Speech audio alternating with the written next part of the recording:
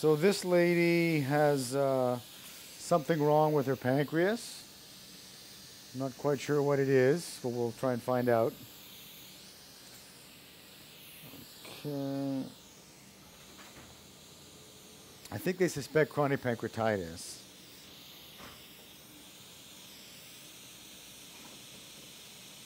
Ok. Vous allez sentir le tube dans la bouche. Respirez bien. Voilà, so big balloon, tip down. Voilà. Excusez-moi. Encore un petit coup. Encore un petit coup. Avalez un petit coup. Ok, merci. Voilà. Essayez de dormir. Voilà. Can we, uh, she's a little bit too high this way. Just uh, unlock this. Unlock the stretcher, please. Bring her down. Hold on, hold on, hold on. Okay, like that. Thank you. Okay, so here we go. I don't think it's completely locked. There's her liver.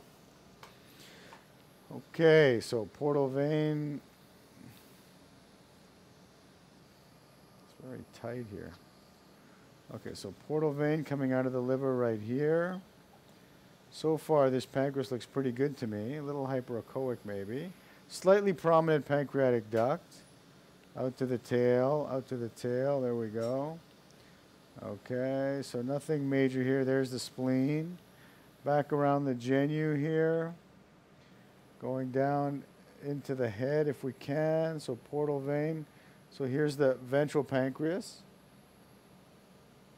And... Uh, Not seeing much, honestly, under here. So what's going on? I'm going to go a little deeper in the antrum and come back. There we go. Okay, so here's your head of pancreas again. And I'm still not seeing much abnormal in this area here. So we'll go in the bulb.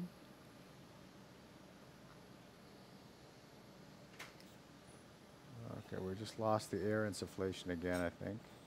There's been a problem with the buttons here.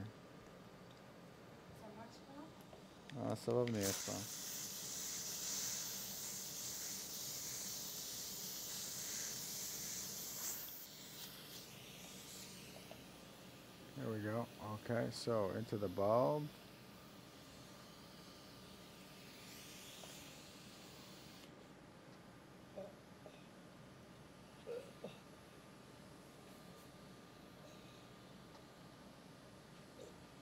Okay, to the bulb. So, uh, there's her. Just want to get a little deeper in the apex. Lost the air insufflation again. Oh, peux-tu changer ce valve-là? Y en a-tu un autre valve? This valve is getting stuck here. I don't know what's wrong with it, but it's, uh, it's, uh, c'est il est vraiment collé, là.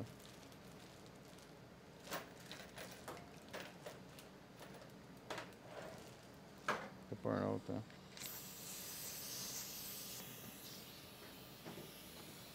Okay, into the apex right here. So left, there's the portal vein right here. Right here. Then I go right. There's the bile coming down here. So our head of pancreas looks okay as well. I'm going to go into D2 if I can. It's very strange. This valve really has to go here.